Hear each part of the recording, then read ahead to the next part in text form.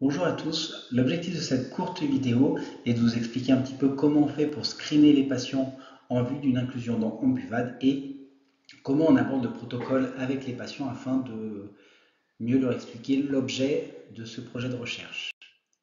Donc tout d'abord, comment évaluer un patient euh, en vue d'une inclusion dans Ambuvade La première chose, c'est euh, quelques règles générales.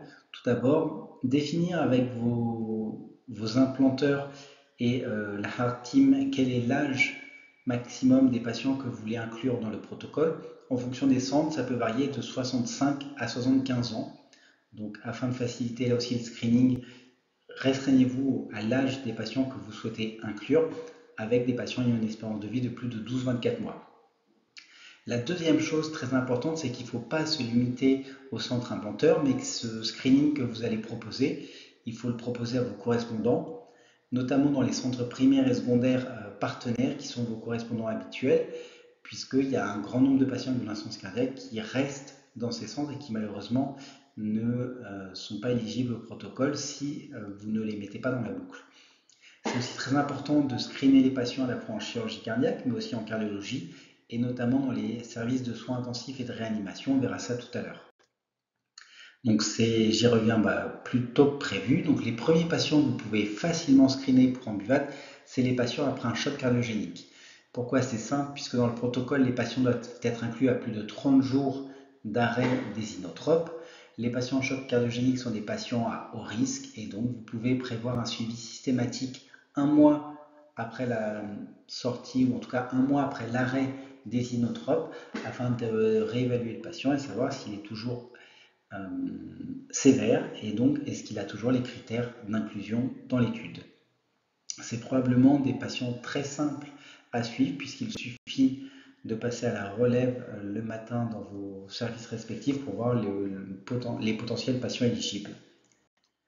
Les euh, autres patients simples à screener dans vos services, c'est les patients hospitalisés pour insuffisance cardiaque.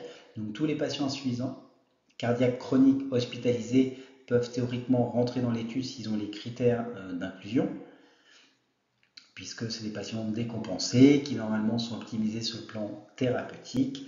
Et là aussi, vous pouvez vérifier ensuite dans un second temps s'il y a un critère parmi euh, euh, un index cardiaque bas, une VO2 basse, un test de marche bas, etc.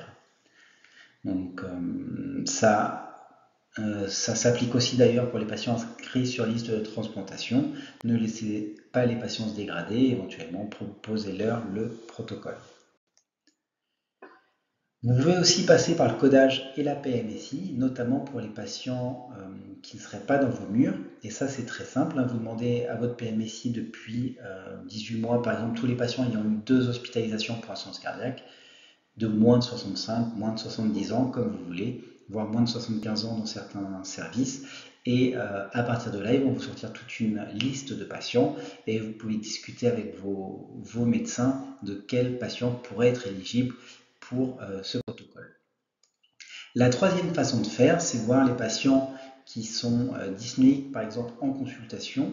Si vous avez un logiciel qui vous permet des extractions de données, ou par exemple avec la télésurveillance ou la télémédecine, prendre les patients en cardiaque chronique qui auraient des alertes et ces patients-là peuvent avoir les critères de sévérité si vous avez augmenté les diurétiques, si vous avez euh, optimisé le traitement d'une façon ou d'une autre, ou s'il reste très dyspnéique à la maison, c'est des candidats potentiels que vous devez euh, screener, ou en tout cas que nous on essaie de screener pour les repérer plus facilement. L'autre euh, angle d'abord pour essayer de trouver des patients, c'est par les épreuves fonctionnelles. Et là, il y a plusieurs choses, hein, que ce soit le cathétérisme cardiaque avec un index cardiaque à moins de 2,2 litres par minute, que ce soit euh, l'épreuve d'effort avec VO2, où vous allez rechercher une valeur à moins de 14 ou moins de 50%.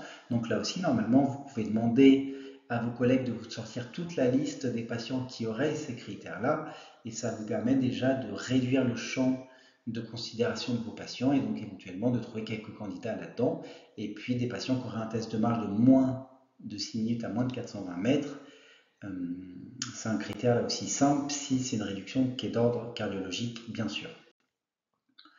Alors, comment on aborde le protocole avec les patients? Je pense que ça, c'est quelque chose de très important. Et nous, dans notre expérience, on n'a pas beaucoup de refus de participation. Je pense que les patients comprennent l'intérêt du protocole et euh, à partir du moment où ils ont bien compris, ils sont plutôt enclins à participer. On présente le protocole de cette façon-là. Le patient, il a une insuffisance cardiaque qui est chronique. Il a généralement dans son histoire plusieurs épisodes de décompensation.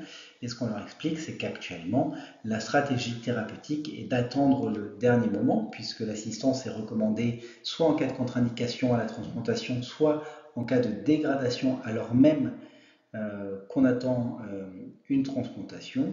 Et puis, chez les patients contre-indiqués à la transplantation qui s'aggraveraient. L'objectif de ce protocole, c'est de ne pas attendre justement cette phase tardive, mais d'essayer euh, d'implanter plus précocement, donc encore une phase euh, juste en amont de la phase habituelle, afin de voir si euh, les résultats sont meilleurs.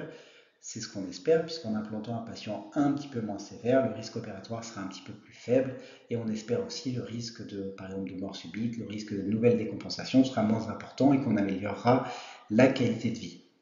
C'est tout l'enjeu du protocole.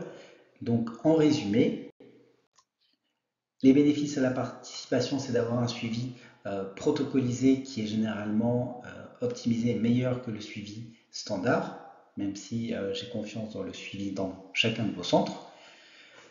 Le fait de pouvoir bénéficier d'une implantation précoce de l'assistance, puisque c'est le but de l'étude. Hein. Donc normalement, si on n'est pas dans l'étude, on doit être implanté en théorie plus tard. La troisième chose, c'est euh, qu'il faut rappeler au patient qu'il y a la possibilité d'être implanté euh, s'il est dans le groupe médical et si son état se dégrade. il y a une possibilité de crossover. Voilà, on veut limiter à tout prix la perte de chance pour le patient.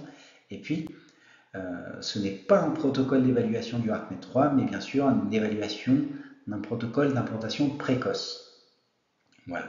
Donc, ce qu'on dit à tous les patients, c'est que, un, on pense qu'ils auront une indication dans les mois ou dans les années à venir à avoir une assistance. Et là, ce qu'on leur propose, c'est d'essayer de participer à un essai où euh, on leur proposerait une assistance plus précoce que celle habituelle. Voilà, je vous remercie de m'avoir écouté. N'hésitez pas à revenir vers Géraldine, Chloé ou moi-même si vous avez des questions euh, et je serai content d'y répondre. Bonne journée à tous.